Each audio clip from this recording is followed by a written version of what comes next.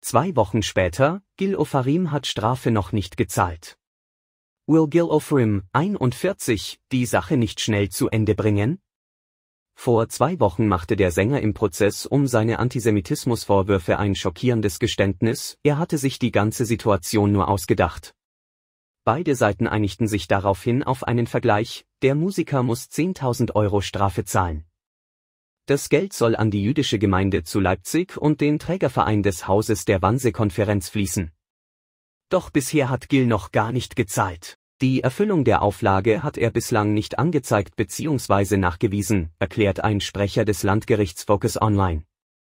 Damit verstößt Gill aber nicht gegen die gerichtliche Vorgabe, für die Überweisung der Summe hat er nämlich sechs Monate Zeit.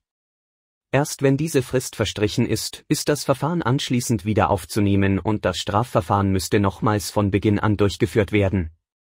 Falls der 41-Jährige doch noch pünktlich zahlt, wird das Verfahren endgültig eingestellt. Gill hatte sich im Oktober 2021 mit einem Video an die Öffentlichkeit gewandt, in dem er einem Leipziger Hotelmitarbeiter Antisemitismus vorgeworfen hatte.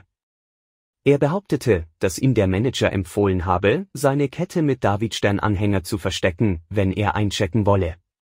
Schon kurz darauf waren Zweifel an der Aussage des Sängers aufgekommen. Die Vorwürfe treffen zu. Ich möchte mich bei Ihnen entschuldigen, es tut mir leid, gestand Gil schließlich im Gerichtssaal.